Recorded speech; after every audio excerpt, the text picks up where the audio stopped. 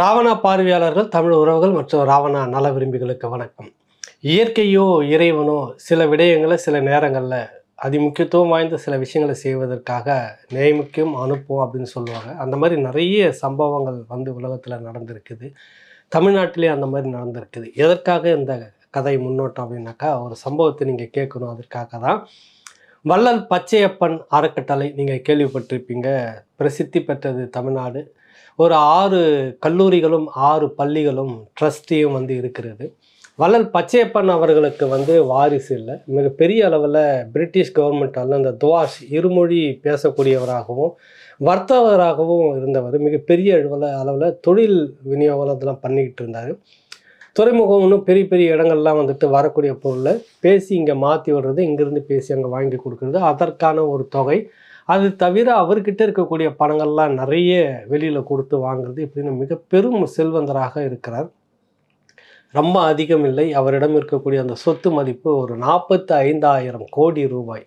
ஆயிரத்தி எழுநூற்றி தொண்ணூற்றி நாலில் அவர் இறப்பதற்கு சில நா- காலங்களுக்கு முன்பாகத்தான் அறக்கட்டளையாக தொடங்கி உயில் எழுதி வைக்கிறார். தன்னுடைய கோயில் சொ தன்னுடைய சொத்துக்கள்லாம் எப்படி எப்படி எதற்கு செலவுப்படணும் அப்படின்றப்ப அந்த உயிலில் தான் வெளிப்படையாக தனக்கு வாரிசில் அதே நேரத்தில் வந்து தனக்கு ஒரு இரண்டாவது மனைவி இருக்கிறது. அந்த மனைவிக்குன்னு ஒரு மகள். அவருக்கு வந்து முப்பது ஆயிரம் பொன் மாதம் ஆண்டுக்குன்னு சொல்லிட்டு அவங்களுக்கு கொடுக்கணும்.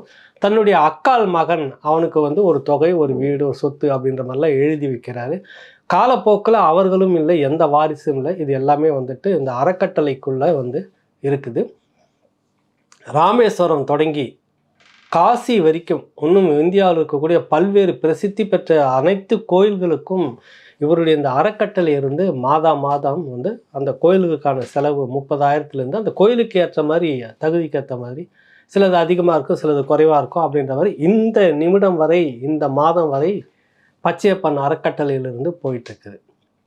எதுக்கு இது இப்போ சொல்கிறோம் அப்படின்னாக்கா இப்படி பிரசித்தி பெற்ற இந்த பச்சையப்பன் அறக்கட்டளை. குறிப்பாக சென்னை பூந்தமல்லி நெடுஞ்சாலையில் இருக்கக்கூடிய பச்சையப்பன் கல்லூரியில் அந்த அறக்கட்டளைக்கு சொந்தமான கல்லூரியில் சில விடயங்கள் நடப்பதாக ஒரு நான்கு நாளுக்கு முன்பாக தமிழ் இந்து நாளேட்டில் ஒரு செய்தி வந்திருந்தது. அங்கே வந்து இப்போ அறக்கட்டளையில் ட்ரஸ்டி வந்து கிடையாது. அது வந்து ஒரு பெரிய குழப்பம் ஏற்பட்டு இப்போ நீதிமன்றத்தினுடைய மேற்பார்வையில் நீதிமன்ற உத்தரவின் பேரில் இரண்டு பேர் தலைவரும் செயலாளரும் நியமிக்கப்பட்டிருக்கின்றார். இப்பொழுது தலைவராக இருப்பவர் ஓய்வு பெற்ற நீதியரசர் மதிப்புக்குரிய பார்த்திபன் அவர்களும் செயலாளராக யாரை போட்டால் சரியாக இருக்கும் அப்படின்னு தேடி கண்டுபிடிச்சி நல்ல கண்ணு அப்படிங்கிற நெய்வேலி சுரங்கத்தில் முக்கிய ஒரு ப- அதிகாரியாக இருந்து ஓய்வு பெற்ற அவரை வந்து போட்டிருக்குது. அவரை பற்றி சொல்லணும்னு ஒரு சின்ன முன்னோட்டம். என்னென்னா அது நெய்வேலியில் ஒர்க் பண்ணிகிட்டு இருக்கும்போது சுற்று வட்டார பகுதியில் ஒரு ஏரி வந்து சுத்தமாக தூர்ந்து போய் அது வந்து கேட்பாற்று இல்லாமல் அது முழுக்க முழுக்க செயல்படாத ஒரு ஏரியாக மாறி போகுது. அது விடயமாக அரைப்படி அரசுக்கு முறைப்படி சொல்லி நீதிமன்றத்துக்கு கொண்டுட்டு போயிட்டு அந்த உள்ள அதிகாரியாக இருக்கக்கூடிய அவரே வந்து என்எல்சி நிர்வாகத்தினுடைய அந்த சமூக சேவகை சோஷியல் இதுக்காக வந்து ஒதுக்கிற நிதியில் வந்து பதினாலு கோடியை பெற்று அந்த ஏரியை மீண்டும் உருவாக்கம் செய்து இப்போ அது ஒரு பாசன ஏரியாக அந்த சுற்றுவட்டார பகுதிக்கு இருக்கிறது. இப்படி ஒரு மகத்தான காரியத்தை செய்து அந்த ந நல்ல கண்ணு என்பவரை வந்து செயலாளராக நியமிக்கிறாங்க. இப்போ இந்த இந்த இவர்கள் மீது வந்து இந்த செயலாளர் வந்த பிறகு அரசு அங்கே இருக்கக்கூடிய ஆசிரியர்களை நிறைய பழி வாங்குகிறார் பொய் வழக்கெல்லாம் போடுறாரு. அதை வந்து சரியாக நிர்வாகம் பண்ண தெரியாமல் இருக்கிறது. கல்லூரி மாணவர்கள் சேர்க்கை வந்து இப்போ குறைஞ்சி போயிருக்கிறது. அதனால் அரசு வந்து உடனடியாக தலையிட்டு ட்ரஸ்டியை வந்து தேர்தல் நடத்தணும் அப்படின்னு. பச்சையப்பன் கல்லூரியில் சென்னைக்குள்ளாக குடியுரிமை பெற்றவர்கள் எல்லோரும் வாக்களித்து ட்ரஸ்டியை வந்து தேர்ந்தெடுக்கணும். இது வந்து நடத்தாமல் நீதிமன்றத்தின் மேற்பார்வையில் இரண்டு பேரை போட்டு செய்வது தவறு. அவர் வந்து நிறைய பேரை வந்து சஸ்பெண்ட் பண்ணிட்டார் அப்படின்னு அவர் மேலே ஒரு அலிகேஷன்லாம் வச்சு வந்த செய்தியை பார்த்துட்டு விசாரிக்கும் போது தான் இதனுடைய விஷயங்கள் வந்து வேறு மாதிரி போகுது அப்படின்ற மாதிரி இந்த தொடக்கத்தில் சொன்னேன்ல இறைவனோ இயற்கையோ சில நல்ல காரியங்களை செய்வதற்கு இப்படியாக ஏதோ ஒரு வகையில் கொண்டு வந்து உள்ள நீதிமன்றத்தின் வாயிலாக அது நடந்திருக்கிறது இப்போ அப்படின்னு.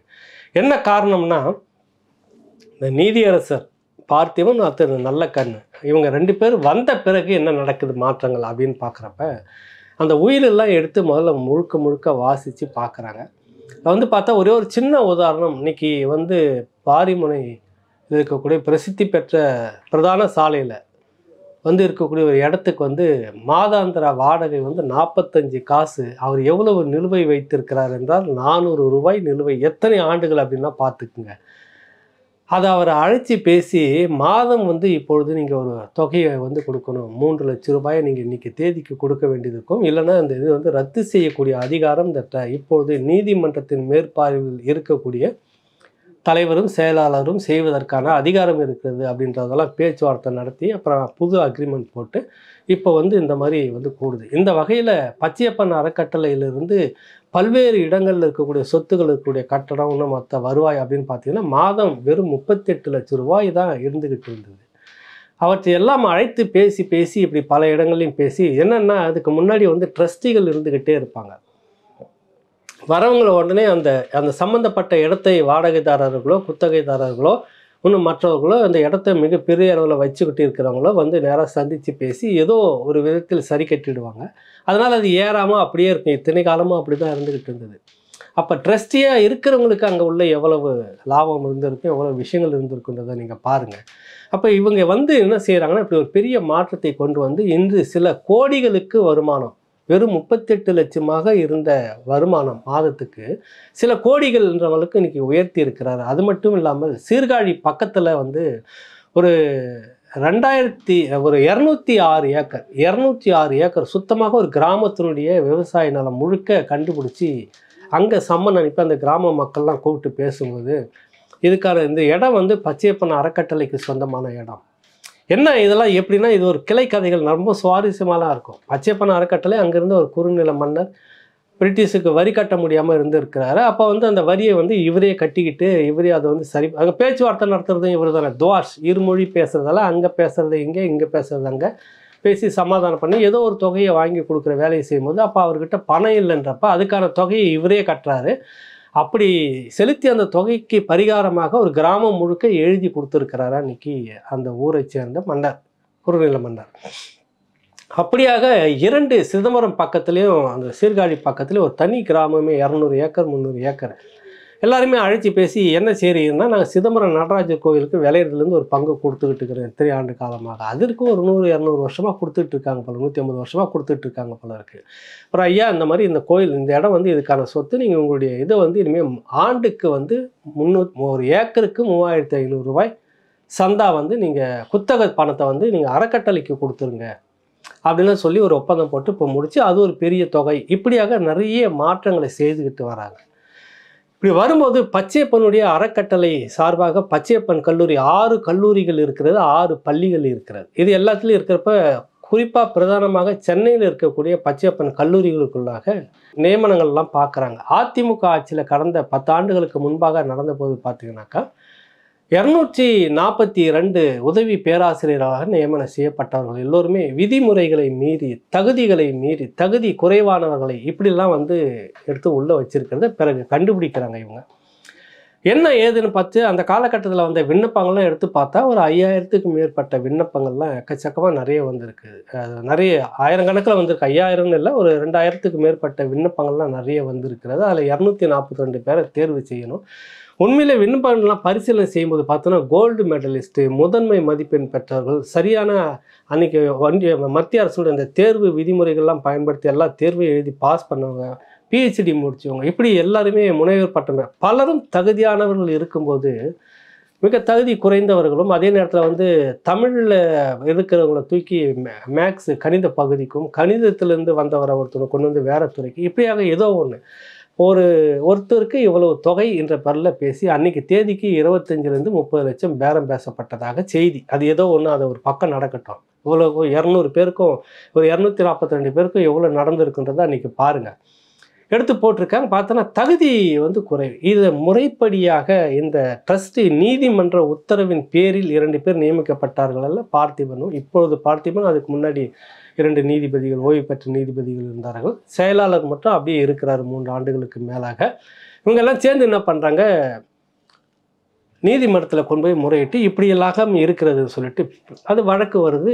பெட்டி பெட்டியாக ஆவணத்தை கொண்டு போய் அங்கே வந்து நீதிமன்றத்தில் வச்சு இந்த செயலாளர் இவங்கெல்லாம் தலைவரும் இப்போ நீதிமன்றத்தின் மேற்பார்வைகளுக்கு இவங்க எல்லாத்தையுமே வச்சு இப்படிலாம் நடந்திருக்குது. இவ்வளோ ஆவணங்கள் வந்திருக்குது. இப்படி தகுதி குறைவானவர்களுக்குன்னு சஸ்பெண்ட்லாம் பண்ணுறாங்க அதுக்கு அந்த ஆசிரியர்கள் பேராசிரியர் இப்போ பேராசிரியர்களாக இருப்பாங்க. அவங்கெல்லாம் சேர்ந்து ஒரு ஆர்கனைஸ் ஆகி நீதிமன்றத்தில் அது வந்து அந்த வழக்கு இப்போ ஒன்று நடந்துகிட்டு இருக்கு. அவங்க பணியும் செய்துக்கிட்டு இருக்கிறாங்க. அது ஒரு பக்கம் போயிட்டு இருக்குது. அப்படி இருக்கக்கூடிய அந்த ஆசிரியர்களுக்கு பணி நீக்கம் செய்யப்பட்ட அந்த ஆசிரியர்கள் தரப்பில் தான் நான்கு நாட்களுக்கு முன்பாக நான் தொடக்கத்தில் சொன்னேன்ல இந்த கல்லூரிகளுக்குள்ளே இப்படிலாம் ஒரு குறைபாடு நடக்கிறது. இவர்கள் வந்து தகுதி இல்லாத மாணவர்கள் வந்து சேர்க்கை குறைந்து இருக்கிறது நிறைய பேரை பழி வாங்குகிறார்கள் பிரின்ஸ்பால் வந்து பழி வாங்குகிறார்கள். இப்படின்னு நிறைய கதைகளாக சொல்லிக்கிட்டு இருக்கிற இந்த விஷயங்கள்லாம் நடக்குது. இந்த குழு நீதிமன்றத்தின் மேற்பார்வையில் வந்த இந்த ரெண்டு பேர் கொண்ட அந்த குழு என்ன பண்ணுறாங்க அது மட்டும் இல்லாமல் நிறைய கணக்கு வழக்கெல்லாம் பார்க்குறப்ப அங்கே வந்து ஒரு எழுத்தராக வந்த ஒருத்தர் இப்போ படிப்படியாக தகுதி உயர்வு பெற்று இருக்கக்கூடிய ஒரு முக்கியமான இடத்துல இருக்கிற ஒருத்தர் வந்து இந்த பச்சையப்பன் கல்லூரியில் இருக்கக்கூடிய அத்தனை பேரும் கைக்குள்ளே போட்டுக்கிட்டு என்னென்னா அவங்களாம் என்னென்ன தகுதியில் வந்தாங்க அவங்களுடைய குறைபாடு எப்படி வந்தாங்கன்னு அவருக்கு தானே தெரியும். நீண்ட காலமாக இருக்கிறார்ல. இவர் தான் அங்கே எல்லாமே அதிகாரம். பிரின்ஸ்பால் உள்ளிட்ட எல்லாருமே இவர் தான் அதிகாரம் பண்ணுவார். சூப்பரிண்டென்டென்ட் மாதிரி இவர் தான் எல்லாம் பண்ணிக்கிட்டு இருக்கிறாரு. அவர் தரப்பு கணக்கெல்லாம் எடுத்து இது பண்ணுறப்ப தொண்ணூற்றி எட்டு லட்சம் ரூபாய் வந்து கணக்கிலேருந்து எடுத்து அவருடைய மனைவி பேருக்கு செக்கு போட்டு கொடுத்துருக்குறாங்க. அதுக்கு பிரின்ஸ்பாலும் கையெழுத்து போட்டிருக்கிறார். அவங்க அங்கே ஊழியரா இல்லையா எதுவுமே கிடையாது கணக்கு. ஆனால் எப்படி இந்த தொகை வந்து போனது?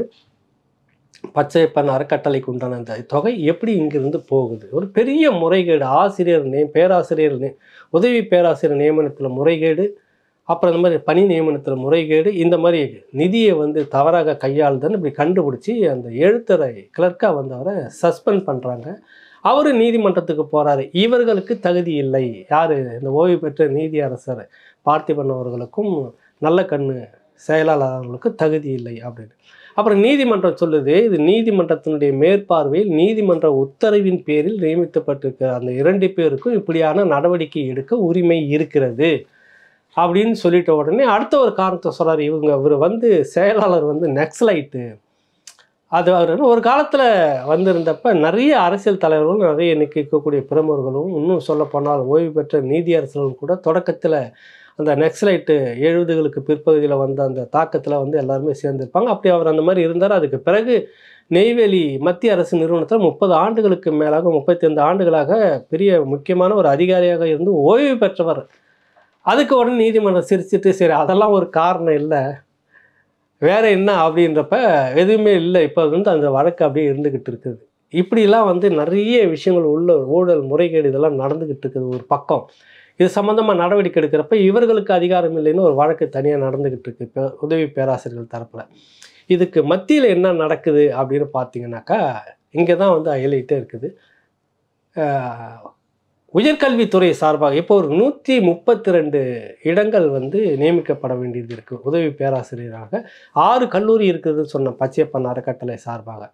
இதில் இன்னொரு முக்கியமான விஷயமா சொன்னாக்கா எனக்கே ஒரு ஆச்சரியமாகுது இந்த விடயத்தை நான் தேடி எடுத்து விசாரிக்கும் போது பார்த்தீங்கன்னா பூந்தமல்லி நெடுஞ்சாலை இருக்கக்கூடிய பச்சைப்பண் அந்த கல்லூரி இருக்குது. எல்லாம் பச்சைப்பண் அவர்களுடைய சொத்து தான் போல் இருக்குது. அந்த இடத்துல இந்த கல்லூரி இருக்கிறது இருக்கிறதுன்னு. அப்படிலாம் கிடையவே கிடையாது அது. அது வந்து என்ன நடக்குது அப்படின்னாக்கா ஒரு காலகட்டத்தில் அவர் வந்து உயில் எழுதி வைத்தபடி நூற்றி முப்பது கோயில்களுக்கு மட்டும் பணம் போய்கிட்டே இருந்தது. மாதாந்திர பணம். அப்போ மென்ட்ரோன்னு சொல்லிட்டு இன்றைக்கி மவுண்ட் ரோட்டில் சில அந்த குதிரை மேலே ஒருத்தர் உட்காந்துருப்பார்ல அவர் தான் இங்கே வராரு ஆளுநராக வராரு மென்ட்ரோ அவருக்கு கீழே வந்து கல்வித்துறைக்கு பொறுப்பாக நாற்றன் என்கிற ஒரு அதிகாரி நாற்றன் சொல்லிட்டு ஒரு அதிகாரி அவர் வந்து வராரு. அவர் இதெல்லாம் ஆய்வு பண்ணும்போது இவ்வளவு ப கோயிலுக்கு போயிட்டுருக்கு சொத்துக்கள் எல்லாம் பணங்கள் எல்லாம் கல்விக்கு வந்து வேலை செய்யும்போது கல்வியை தொடங்கக்கூடாதுன்னு ஆயிரத்தி எட்நூற்றி நாற்பத்தி ரெண்டில் தான் பச்சையப்பன் கல்வி அறக்கட்டளைன்னு ஒன்று தொடங்குறாங்க.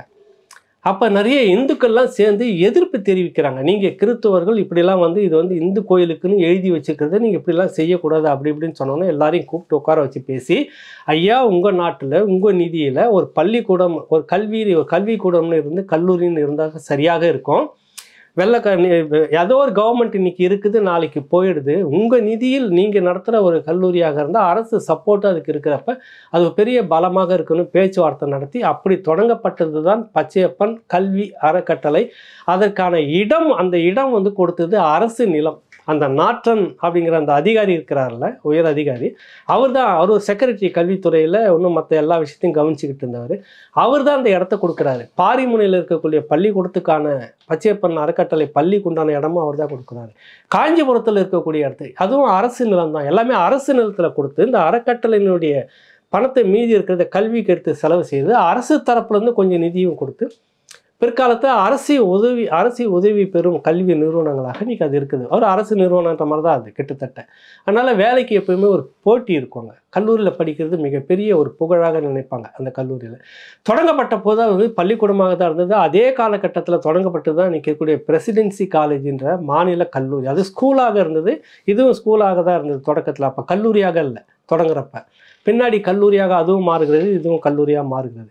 இப்படி ஒரு புகழ் வாய்ந்த இந்த பச்சையப்பன் கல்லூரியில் வந்து எப்படியான ஒரு முறைகேடுகள் வந்து நடந்துட்டு இருக்கு உண்மையிலே செலவு வச்சு கொண்டாடணும் அப்படின்லாம் பார்த்தீங்கன்னா நீங்கள் மெட்ரோவுக்கும் அந்த மெட்ரோ சிலை நிற்கிறதால இந்த மெட்ரோவுக்கும் நாற்றன்ங்கிறவருக்கு தான் நீங்கள் செலை வச்சு கொண்டாடணும் நிற்கி இப்படி தொடங்கப்பட்ட போது ஒரு கண்டிஷன்ஸ் தொடங்குறாங்க. ஆயிரத்தி எட்நூற்றி நாற்பத்தி ரெண்டு பேச்சுவார்த்தை நடத்தி தொடங்கினோடனே பிறகு ஒரு முடிவுக்கு வந்து சரின்னு சொன்ன உடனே மூன்று பேர்கள் வந்து இருக்கக்கூடாது. இந்து என்பதால் இது இந்துக்களுக்கு மட்டும்தான் பயன்படணும். கிறிஸ்தவர்களுக்கும் முஸ்லிம்களுக்கும் இன்னொரு பகுதி அட்டவணை பிரிவினருக்கும் இதில் வந்து இடம் கிடையாது அப்படின்னு சொல்கிறாங்க அப்போ அட்டவணை பிரிவினர் வந்து இந்த இந்துக்கள் பட்டியலில் இல்லை. அதுதான் விஷயமே. கிறிஸ்தவர்கள் கிடையாது. இஸ்லாமியர்களும் மற்ற மதத்தினர் கிடையாது. அட் அட்டவணை பிரிவினரும் சேர்க்க முடியாது. எது வரைக்கும் இருக்குதுனாக்கா எண்பத்தாறு ஆண்டுகள் அப்படி தான் இருக்குது அந்த பச்சையப்பன் அறக்கட்டளை கல்லூரியில். இந்த மூன்று பிரிவினரும் கல்லூரிக்குள்ளே சேர முடியாது. எண்பத்தாறு ஆண்டுகள் அப்படி தான் இருந்துகிட்டு இருக்குது. கடைசியாக அயோத்திதாச பண்டிதரும் எம்சி ராஜா அவர்களும் நீதிமன்றத்தில் வந்து பிரிட்டிஷ் கவர்மெண்ட்டில் வழக்காடி உச்ச உயர்நீதிமன்றம் வரைக்கும் கொண்டு வந்து பெரிய அளவில் அதை வந்து பெரிய ஒரு வழக்காடி. அப்புறமா தான் அந்த கிறித்துவர்களும் இஸ்லாமியர்களும் அட்டவணை பிரிவினரும் இந்த பள்ளியில் வந்து சேர்க்கணும். இது ஒரு அரசு உதவி பெறும் நிறுவனம் என்பதால் மதங்களை வந்து பார்க்கக்கூடாது பார்க்க முடியாது. பொதுவானதாக தான் நீங்கள் எடுக்கணும் அப்படின்னு சொல்லி மாற்றி அதுக்கு பிறகு தான் அதுக்கு முன்பாக எண்பத்தாறு ஆண்டுகள் வரைக்கும் இந்த மூன்று பேரும் வந்து சேர்றதில்லை. கிறிஸ்தவர்கள் முஸ்லீம்கள் அட்டவணை பிரிவினர்கள் வந்து பச்சையப்பன் கல்லூரியில் இடம் கிடையாது. அதுக்கு பிறகு தான் எண்பத்தாறு ஆண்டுகள் நடந்த பிறகு இந்த வழக்கு ஜெயிச்சு ஒரு படம் தான் நடத்துகிறாங்க இவ்வளவு பின்னணி கொண்ட இந்த பச்சையப்பன் கல்லூரியில் இப்போ இன்னொரு சிக்கல் என்னென்னா நூற்றி முப்பத்தி ரெண்டு உதவி பேராசிரியர்கள் இப்போ நியமிக்க வேண்டிய கட்டாயம் இருக்கிறது. ஏன்னா எல்லாருமே நிறைய பேர் பணி ஓய்வு இன்னும் நிறைய விஷயங்கள் இருக்குது இப்போ நிறைய மாணவர்களை வந்து ரொம்ப யதார்த்தமாக போய் பேசி சேர்க்குற அளவுக்கு வளர்ச்சி கண்டு இருக்கிறது பச்சையப்பன் கல்லூரிகள் ஆறு கல்லூரிகள்லையும். இந்த நூற்றி முப்பத்தி ரெண்டு இடங்கள் சேர்க்கும்போது முறையாக நீதிமன்றத்தினுடைய உத்தரவை பெற்று நீதிமன்றத்தினுடைய உத்தரவின் பேரில் தான் இந்த ரெண்டு பேர் இருக்கிறாங்க. இப்பொழுது ட்ரஸ்டிங்கெல்லாம் கிடையாது. இந்த ரெண்டு பேர் தலைவர் செயலாளர் இருக்காங்க. அந்த உத்தரவின் பேரில் நியமிக்கப்பட்ட இவர்கள் அதே நீதிமன்றத்தினுடைய கவனத்துக்கு கொண்டு போய் நூற்றி முப்பத்தி ரெண்டு இடங்கள் காலியாக இருக்கிறது. அப்படின்னா நீங்கள் முறைப்படி அதை நடைமுறைப்படுத்துங்களா அப்படின்றப்ப இவங்க சென்னை பல்கலைக்கழகத்தை அண்ணா பல்கலைக்கழகத்துக்கும் சென்னை மாநில கல்லூரிக்கும் தகுதி வாய்ந்த பேராசிரியர்களை இன்டர்வியூ நடத்துறதுக்கு முறைப்படி அங்கேருந்து வரணும் அப்படின்னு சொல்லிட்டு ஒரு கோரிக்கை இது கொடுக்குறாரு. நீதிமன்றம் அதற்கு உத்தரவிடுகிறது. ஆனால் மாநில கல்லூரியில் இருந்துட்டு அண்ணா பல்கலைக்கழகத்திலிருந்து பதில் வந்திருக்கிறது. மாநில கல்லூரியிலேருந்து ஒன்றும் இல்லை. என்னன்னு கேட்டாக்கா உயர்கல்வித்துறை அமைச்சர் தரப்புலேருந்து முட்டுக்கட்டை அப்படின்னு. நூற்றி முப்பத்தி ரெண்டு இடங்களும் நீங்களே போட்டுட்டு போயிட முடியுமா? அப்படின்றது தான் இங்கே கேள்வி. அப்போ அவங்க உடனடியாக ஒரு ஸ்பெஷல் லெட்டர் வந்து உயர்கல்வித்துறை பொன்முடி தரப்புலேருந்து வருகிறது. பச்சையப்பன் அறக்கட்டளையில் இப்போ இருக்கக்கூடிய ரெண்டு தலைவர் செயலாளர்களுக்கு என்னென்னா இந்த மாதிரி உயர்கல்வித்துறையினுடைய மேற்பார்வை இல்லாமல் நீங்கள் வந்து நூற்றி முப்பத்தி ரெண்டு உதவி பேராசிரியர்கள் எடுப்பது வந்து தகுதியற்றதாக இருக்கப்படும் அது வந்து இப்படி நடத்துறதுக்கு உங்களுக்கு அதிகாரம் இல்லை.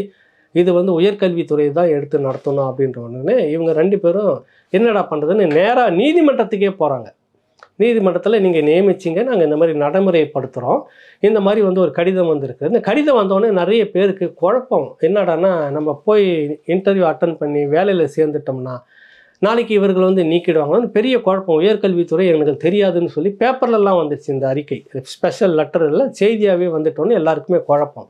அதனால் திரும்ப நீதிமன்றத்துக்கு போனவொடனே நீதிமன்றம் மிக தெளிவாக அப்படியெல்லாம் ஒன்றும் இல்லை. இந்த இரண்டு பேரும் தலைவர் செயலாளர் இரண்டு பேரும் இதை வந்து முறைப்படி நடத்துகிறாங்க முறைப்படி நீதிமன்ற உத்தரவின் பேரில் சென்னை பல்கலைக்கழகமும் அண்ணா பல்கலைக்கழக மாநில கல்லூரியும் மாநில ரெசிடென்சினுடைய அந்த இது நிறுவனமும் சேர்ந்து அங்கே இருக்கக்கூடிய தகுதி வாய்ந்த பேராசிரியர்களை வைத்து தான் இந்த இன்டர்வியூ நடத்துது. அதனால் இவங்க நடத்துறதுக்கான ரைட்ஸ் எல்லாம் இருக்குது. அப்படின்னு ஒரு- திரும்ப ஒரு உத்தரவு. இப்போ என்னடா அப்படி ஆகிப்போச்சுன்னு மூக்கூடப்பட்ட உயர்கல்வித்துறையில் இருந்துட்டு அங்கே உயர் உயர்கல்வித்துறையினுடைய முக்கிய அதிகாரியாக பேரையே சொல்கிற ராவணன் ஒருத்தர் இருந்தார்.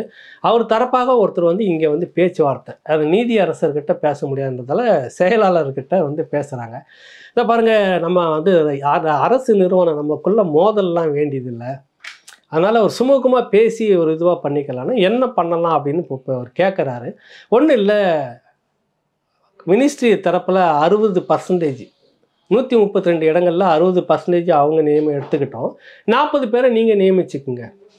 ரெண்டு பேரும் சுமூகமாக விட்டு கொடுத்துட்டு போகலாம் நீங்கள் என்ன பண்ணுறீங்களோ நீங்கள் பண்ணிக்கங்க. அவங்க பண்ணுறதை அவங்க பண்ணிக்கிட்டுன்னு பேச்சுவார்த்தை ஒருத்தர் வந்து நடத்துகிறாரு இது முறைப்படி எல்லாமே இருக்குது.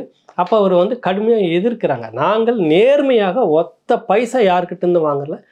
படித்து விட்டு தகுதியோடு ஏழை மாணவர்களும் தகுதியானவர்களும் இல்லை. அல்லா நூற்றுக்கணக்கான பேரில் இருக்கும்போது இதை வந்து எதற்கு இப்படி செய்யணும்? அதனால் இதுக்கெல்லாம் நாங்கள் உடன்பட மாட்டோம். நீதிமன்ற உத்தரவின் பேரில் எல்லா பணி நியமனங்களும் நடக்கும். அது நிறைவடையும் ஒத்த பைசா வாங்க மாட்டோம் இப்போ நூற்றி முப்பத்தி ரெண்டு இடத்துக்கு இன்றைக்கி இருக்கிற தேதிக்கு முப்பது லட்சத்துலேருந்து நாற்பது ஐம்பது அது ஆளுக்கு ஏற்ற மாதிரி பேசிப்பாங்க. அப்படின்னு இன்றைக்கி பேசுனீங்கன்னா எத்தனை எத்தனை லட்ச கோடிகள் வந்து இதில் சேருது பாருங்கள் அப்போ இதுக்காக ஒரு உயர்கல்வித்துறை இதுக்கு ஒரு மந்திரி இது ஒரு பழப்பு அப்படின்ற மாதிரிலாம் கேள்வி வருதா இல்லைங்களா? ஒரு நெருக்கடி அங்கேருந்து தொடர்ச்சியாக நெருக்கடி. அப்போ அவர் சொல்கிறாரப்பா நம்ம நீங்களும் நானும் ஒரு துறை அப்படிலாம் நான் நீதிமன்றத்தின் மூலமாக நியமிக்கப்பட்டு தகுதியான ஒரு இடத்துல இருந்துட்டு தகுதியான முறையில் முறையாக அறிவித்து விட்டு நீதிமன்ற உத்தரவின் பேரில் இந்த நியமனத்தை நான் செய்கிறதுக்கு இருக்கிற அதில் ஒத்த பைசா நாங்கள் வாங்க போகிறதில்ல யாருக்கிட்டேயும் அதில் நீங்களும் நானும் ஒன்று தான் எப்படி? இன்றைக்கி என்ன இருக்குது? நீதிமன்றம் வேணான்னு சொன்னால் நாளைக்கு நான் போயிட்டே இருக்க போகிறேன் நாங்கள் இருக்கும் வரை இது நேர்மையாகத்தான் நடக்கணும் அப்படின்னு செயலாளர் தரப்புலையும் தலைவர் தரப்புலையும் சொல்லிட்டாங்க. இப்போ உங்களுக்கு வந்து எரியுது முட்டுக்கட்டை போட்டு நடத்த முடியாமல் இழுத்துக்கிட்டு இருக்கிறாங்க. இதுதான் அன்னைக்கு பச்சையப்பன் அறக்கட்டளையில் இருக்குது. இதுக்கு மத்தியில் வந்துனாக்கா முதல்வர் குடும்பத்துக்கு நெருக்கமான ஒருத்தர் அதில் அவங்களுடைய சம்பந்தி ஒருத்தர். உள்ளே வந்து இவங்களை சந்தித்து பேசி ஒரு அழுத்தம் கொடுக்குறாங்க. மேல் இடத்துல இந்த மாதிரி இந்த மாதிரி இருந்து வரனாங்க இந்த மாதிரி இந்த மாதிரி உறவினர் அப்படின்லாம் சொல்லி ஒன்றும் இல்லை ரெண்டு ஏக்கர் இடம் வந்து உள்ளே வேணும். விளையாட்டுக்காக வேண்டிய டென்னிஸும் சிலம்பமும் நாங்கள் வந்து கோச்சு வந்து நடத்த போகிறோம் அப்படின்றவொன்னு சரி நீங்கள் ரெண்டு ஏக்கர் வாங்கி கோச்சு பயிற்சி இப்படிலாம் வந்து அது எவ்வளோ வரும்? ஆண்டுக்கு எவ்வளோ வரும்? அதில் நீங்கள் எவ்வளோ இது வந்து இப்போ வந்து ஒரு மூன்று லட்ச ரூபா நீங்கள் கொடுக்க வேண்டியதாக இருக்கும்? மாத வாத வாடகையும் குத்தகை பணமாகவோ இல்லை மாதாந்திர தொகையோ பார்த்தா இந்த தொகை நீங்கள் செலவு செய்து கணக்கெல்லாம் பழித்து பார்த்தா அப்படி வருமானம் வராது. என்ன செய்ய போகிறீங்கன்னு இல்லை இல்லை நாங்கள் ஏதோ ஒன்று செய்கிறோம் போகிறோம் வரோம் நீங்கள் ரெண்டு ஏக்கரை கொடுங்க. அதுக்கு பிறகு பார்த்துக்கலாம். அது வந்து அப்புறம் நீங்கள் கொடுத்துட்டு ஒரு ஒரு ஒரு நாம்ஸ்க்கு நான் நீங்கள் கொடுத்துட்டீங்கன்னா ஒரு உத்தரவை அக்ரிமெண்ட் ஒன்று போட்டிங்கன்னா மூணு வருஷத்துக்கு இந்த இடம் நாங்கள் நீதிமன்றத்துக்கு போயிடும் நீதிமன்றம் போனால் சிவில் வழக்கு அது பத்து பதினஞ்சு வருஷம் இருக்கும். அதுக்குள்ளே இது போயிடுவாங்க. ட்ரஸ்டி நியமிக்கப்படுவார்கள் தேர்தல் நடத்தி அப்புறம் ட்ரஸ்ட்டில் ஆளுங்கட்சிக்கு சார்பாக வந்து அப்புறம் நாங்கள் எதனா பூசி மூழ்கி எடுத்துகிட்டு போயிடுற மாதிரி கணக்குன்னு சரி ஒரு வழியாக அழுத்தம் கொடுத்து ஒரு ரெண்டு ஏக்கர். ஏன் அப்படின்னு பார்த்தீங்கன்னா அதுக்கு முன்னாடி உள்ளார வந்து ஒரு ஐந்து ஏக்கர் இடம் எம்ஆர்எஃப் டயர் இருக்குல்ல அந்த இடம். அது உள்ள வந்து மொத்தம் ஐம்பத்தி நாலு ஏக்கருக்கு மேலே ஐம்பத்தி ஏழு ஏக்கர் நினைக்கிறேன் பச்சையப்பன் அந்த கல்லூரினுடைய மொத்த வளாகம். மிகப்பெரிய இடம் அது. அதில் ஒரு ஐந்து ஏக்கர் எம்ஆர்எஃப் ஏற்கனவே வந்து மிக குறைந்த அளவில் வாடகை பணத்தை கொடுத்துக்கிட்டு நல்ல தரமான சர்வதேச அளவில் ஒரு கிரிக்கெட் பயிற்சி மையத்தை வந்து நடத்திட்டு இருக்கிறாங்க இன்றைக்கும் பல நாடுகள்லேருந்து பயிற்சியாளர் பயிற்சிக்கு அங்கே தான் வருவாங்க. அந்த அளவுக்கு நேர்த்தியாக பண்ணிட்டு இருக்கிறாங்க எம்ஆர்எஃப் டயர் நிறுவனம். அவங்கள கூட அழைத்து ஐயா நீங்கள் கொடுக்குற தொகை ரொம்ப ரொம்ப கம்மியாக இருக்குது. கொஞ்சம் கூட வச்சுக்கலான்னு அவங்க உடனே ஹை லெவல் இன்ஃப்ளூயன்ஸ்லாம் யூஸ் பண்ணி இவங்களுக்கு ஒரு பெரிய நெருக்கடி கொடுத்து அப்புறம் வேறு வழி இல்லாமல் அதையும் எம்ஆர்எஃப் டைரி நீதிமன்ற கவனத்துக்கு கொண்டு போய் அங்கே வழக்கு ஒன்று நடத்தி கடைசியாக பேச்சுவார்த்தை உங்களுக்கு வேணாம் எங்களுக்கு வேணாம்னு அஞ்சு லட்ச ரூபாய் நீங்கள் மாத தொகையை வந்து அஞ்சு ஏக்கருக்கும் அஞ்சு லட்ச ரூபாய் நீங்கள் கொடுக்கணும்னு அப்புறம் கடைசியாக முன்ன பண்ண பேசி இப்போது மூன்று லட்ச ரூபாய் எம்ஆர்எஃப் டயர் நிறுவனம் கொடுத்துக்கிட்டு இருக்கு. பெரிய தொகை அது. அந்த அளவுக்கு பெரிய சீர்திருத்தம் செய்து கொண்டிருக்கிறார்கள் இந்த தலைவரும் செயலாளரும் இப்பொழுது. இது வந்து இது பெரிய மாற்றம் தானே நினைக்கிறோம். மிக பெரிய அளவில் பச்சையப்பன் கல்லூரியில் ஒரு மாணவர்களுக்கான நவீன விடுதி ஒன்று வந்த பிற்பாடு இப்போ நடந்திருக்கு. திறப்பு விழாவும் நடந்திருக்கிறது பிரம்மாண்டமாக. அப்போ இவ்வளவு புரட்சிகளையும் இவ்வளவு மாற்றங்களையும் செய்யக்கூடிய இவர்கள் வந்து உள்ளே இருக்கும்போது சிலருக்கு அது வலிக்கும் தானே உங்களுக்கு? இப்போ இங்கே வரேன். முதல்வர் குடும்பத்துலேருந்து போன ஒருத்தர் ரெண்டு ஏக்கர் கேட்டார்ல அவர் உடனே சரின்னு சொல்லிட்டு என்னடா பெரிய அழுத்தமாக இருக்குன்னு கொடுத்த உடனே டக்குன்னு கொஞ்சம் நீதிமன்ற வழக்கில் போட்டு சிவில் வழக்காக மாற்றுகிறாங்க. சில காரணங்கள்லாம் சொல்லி அது மாதிரிலாம் பண்ணுவாங்க. பார்த்தாங்க இவங்க உடனே இது வந்து நல்லா இல்லையே இது தொடக்கமே சரியாக இல்லையே. உடனே சொல்லிட்டு இவங்களுக்கு கொடுத்த இந்த ரெண்டு ஏக்கர் நிலம் அக்ரிமெண்ட்டு ரத்து செய்யப்படுகிறது. இவங்களுக்கு அதிகாரம் இருக்குது. ரத்து பண்ணிட்டாங்க முடிஞ்சு போச்சு இப்போ. இந்த அளவுக்கு பெரிய இடத்துல வந்து மோதிக்கிட்டு இன்னைக்கு வந்து ரெண்டு பேர் உட்காந்துக்கிட்டு இவ்வளவு பெரிய மாற்றங்களை செய்துக்கிட்டு இருக்கிறாங்க. பத்தாண்டுகளுக்கு முன்னாடி அன்றைக்கி இருந்த அதிமுக அரசு பணி நியமனத்தில் மிகப்பெரிய ஒரு மோசடி அது. தகுதி வாய்ந்த பலர் இருக்கும்போது தகுதியற்ற இரநூத்தி நாற்பத்தி ரெண்டு பேரை வந்து நியமிச்சிருக்கிறாங்க. அது இன்னைக்கு கண்டுபிடிச்சி பணி நீக்கம் செய்திருக்காங்க. அந்த வழக்கு நீதிமன்றத்தில் இருக்குது முழுக்க முழுக்க முழுக்க ஆதாரங்கள் இருக்குது நாளைக்கு அது வழக்காடி முடியும் போது அதுக்கான தீர்வு சரியானதாகத்தான் இருக்கும். அதில் மாற்று கருத்து இல்லை. இப்போ இவ்வளவு பெரிய அளவில் இதில் உள்ளே கொண்டு வந்திருக்கிறாங்க. பச்சையப்பன் அறக்கட்டளையில் இந்த இரண்டு பேர் மட்டும் உட்காந்துட்டு இவ்வளோ பெரிய புரட்சியை செய்து கொண்டிருக்கிறார்கள். மாணவர்கள்லாம் இப்போ வந்து எளிதாக போய் சேர்க்க முடிகிறது. இப்போ இது ஏதாவது குலைச்சி ஏதாவது ஒரு பண்ணி இது வந்து இல்லாமல் போயிட்டு இது வந்து கடைசியாக என்னன்னாக்கா தனியார் வசம் போயிடும். ஒரு நெருக்கடியை கொடுக்க கொடுக்க நடத்த முடியாத நிலை வரும்போது என்னதான் சொத்து இருந்தாலும் நடத்த முடியாத நிலை வரும்போது அப்புறம் தனியார்களே நடத்திக்கிட்டோம் அப்படின்னு போயிடுச்சுன்னா குருநானக் காலேஜ் இன்றைக்கி அப்படி தான் போயிடுச்சு. தனியார்கள் வசம் போயிடுச்சு. இன்னைக்கு அவங்க வைக்கிறது தான் கட்டணம். பச்சையப்பன் கல்லூரியில் அந்த மாதிரி அரசு நிர்ணயம் செய்த கட்டு ஏழை பிள்ளைகள் வந்து அதிக பலனடையக்கூடிய ஒரு இதுவாக இருக்கும் இப்படி ஒரு நல்ல காரியம்லாம் நடந்துடக்கூடாது. ஏதாவது ஒன்று பண்ணி குட்டிச்சோறாக்கி எல்லாத்தையும் முடித்து இதை வந்து ஒரு தனியார் வசமாக போயிடணும் அப்படின்ற மாதிரியான ஒரு திட்டங்களோடு நகர்ந்துட்டு இருக்குது உண்மையிலே சொல்லப்போனால் லயோலா கல்லூரியும் அந்த மாதிரி தான் இருக்குது. இப்போ அவங்க வந்து ஒரு ஆசிரியரை நியமிக்க கொடுக்குறது கூட அரசுக்கிட்ட பல முறை நடக்கணும் பேச்சுவார்த்தை நடக்கணும் அரசு உதவி பெறும் ஒரு இதில் இருக்கிறதால லயோலா கல்லூரி அதுக்கு வந்துட்டு வெள்ளூரில் புகழ்பெற்ற கல்வி நிறுவனத்தினுடைய தந்தையாக இருக்கக்கூடிய ஒருவர் வந்து அதுக்கு ஆலோசகர் மேட்டன் சொல்லிட்டு ஒரு ஆலோசகர். அவர் வந்து நீங்களாக வந்து எதுக்கு அரசுக்கிட்ட போய் போய் எல்லாத்தையும் கையேந்தி நின்றுட்டு இருக்குது? பேசாமல் நீங்கள் விலகி டீம்டாக மாறிடுங்க. சுயநிதி கல்லூரியாக நீங்களே மாற்றிக்கொண்டால் ஆண்டுக்கு எட்நூறு கோடி ரூபாய் வருமானம் வரும். எல்லாம் வரும் க- ஏழை பிள்ளைங்களை படிக்க முடியுமா? அரசு ஊழியர்கள் சம்பளமாக இருக்குமா? அது டீமுடாக மாறின பிறகு அங்கே இருக்கக்கூடிய அரசு ஊழியர்களுடைய அந்த கல்லூரியில் இருக்கக்கூடிய பேரரசுடைய நிலைமை எதிர்காலத்தில் என்ன மாதிரி ஆகும்? யார் அதை வந்து கட்டுப்படுத்துறது? டீம்டுனா தனிப்பட்ட நபர்கள் பங்கெடுத்துக்கிட்டு அவங்களே கொண்டுட்டு போயிடுவாங்க. வைப்பது தான் சட்டம் எடுக்கிறத வச்சா மீச சொரைச்சா மொட்டைன்ற மாதிரி கட்டணங்கள் வந்து எகிரிக்கிட்டு இருக்கும். இன்றைக்கி தனியார் டீம்டு கல்லூரிகள்லாம் இன்றைக்கி யூனிவர்சிட்டியில் எந்த அளவுக்கு கல்வி கட்டணங்களை வாங்கிட்டு இருக்குது அப்படின்னு நம்ம பார்த்துக்கிட்டு இருக்கிறோம். அந்த மாதிரி மாதத்து ஆண்டுக்கு எட்நூறு கோடி ரூபாய் வருமானம் வரும் லயோலா கல்லூரிக்கு அப்படின்னு ஒரு ஆலோசனைலாம் கொடுத்துருந்தாங்க. அதெல்லாம் நடந்திருக்கு. ஒரு வேளை அப்புறம் நல்ல வேலை எல்லாம் விழிச்சிக்கிட்டு இப்போ வந்து அதெல்லாம் ஒன்று வேணாம் அரசு கட்டுப்பாட்டிலே இருக்கலான்ற மாதிரி இருந்துக்கிட்டு இருக்குது. அப்படி ஒரு நிலைமை நகர்ந்துக்கிட்டு இருக்குது பச்சையப்பன் கல்லூரி அறக்கட்டளைக்கு. அந்த க வள்ளல் பச்சையப்பனுடைய அறக்கட்டளை இருக்கக்கூடிய அதன் கீழ் இருக்கக்கூடிய கல்லூரிகளுக்கு அப்படி ஒரு நிலைமை இப்படி நடந்துக்கிட்டு இருக்குது. அரசியல் உள்ளே நுழைஞ்ச உடனே என்னாகும்? ஆளுக்கால் சூறை. நாற்பத்தஞ்சாயிரம் கோடி சொத்து உள்ளே இருக்குது இல்லை என்ன கணக்கு யாருக்கு தெரியும் என்ன ஏது நடக்குது ஒன்று இப்போ இவங்க வந்த பிற்பாடு உயிரெலாம் எடுத்து படித்து பார்த்து நிறைய மீட்டிருக்காங்க நிறைய குத்தக பணத்தை மாற்றிருக்கிறாங்க இன்றைக்கி இப்போ சில கோடிகளில் வருமானம் வருது. நிறைய இழந்த இடங்கள்லாம் இன்றைக்கி கட்ட வந்து திரும்பவும் ஒரு மறு ஒப்பந்தம் போட்டு அக்ரிமெண்ட் போட்டு இணைச்சிருக்கிறாங்க. இந்த நாற்பத்தஞ்சாயிரம் கோடி சொத்தும் என்னவாகும்? வள்ளல் பச்சையப்பன் அவர்களுடைய அந்த உயில் அந்த கனவு என்னவாகும்?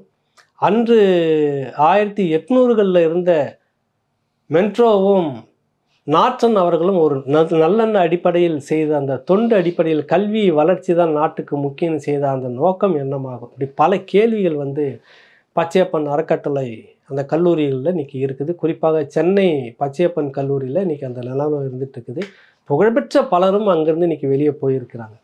அதுதான் நம்ம பார்க்கணும். அந்த கல்லூரிக்கு கல்லூரிக்குள்ளே இப்போ அது மிகப்பெரிய ஒரு சீர்கேடு வந்து நடத்துறதுக்கு ஒரு குழு வெளியிலிருந்து அழுத்தம் கொடுத்துருக்கிறது.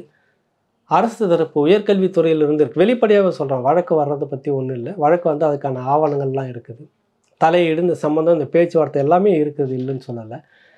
இதெல்லாம் வந்து ஒரு பொழப்பு நிற்கின்னு இப்படி எடுத்து நடத்திக்கிட்டு இருக்கிறாங்க. இவ்வளோ பெரிய யாரோ எழுதி வச்சுட்டு போன நாற்பத்தஞ்சாயிரம் கோடி சொத்து அதில் ஒரு பகுதி கல்விக்குன்னு வரதில் கூட வந்து இவ்வளவு குழப்படிகள் செய்யணுமா? ஒரு நேர்மையாக நடப்பதற்கு வாய்ப்பு இல்லையா? நேர்மையாளர்கள் இந்த மண்ணில் வாழ்வதற்கு அர்த்தம் இல்லையா? நேர்மையாளர்கள் இருந்து அந்த கல்லூரியை சீர்திருத்தம் செய்வதற்கு வழியே கிடையாதா? ஏழை பிள்ளைகள் படித்து முன்னேறுவதற்காகன்னு ஒரு வழியை திறந்து திறக்கும்போது அந்த வழிக்கான கதவு அடைக்கப்படுவது எந்த விதத்தில் நியாயம்? இப்படி பல கேள்விகள் வந்து இருக்கிறது. தொடர்ச்சியாக இன்னொரு நிகழ்ச்சியில் அதை பற்றி விரிவாக பேசுவோம். நன்றி வணக்கம்.